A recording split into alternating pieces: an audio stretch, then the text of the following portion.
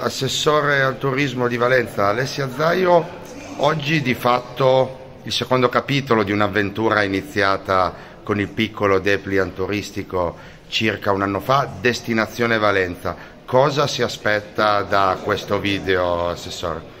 Sì, quindi noi abbiamo iniziato l'anno scorso con Destinazione Valenza, ma proprio con la nostra guida turistica. Destinazione Valenza era la nostra idea che abbiamo poi realizzato quest'anno con questo, con questo video, quindi conoscere il nostro territorio, far vedere che nel Valenzano ci sono colline molto belle, il nostro port e soprattutto le nostre bellezze delle, della città, quindi il teatro sociale piuttosto che il Duomo o il nostro piccolo mod che è un po' il nostro gioiellino della riproduzione di una fabbrica anni 50.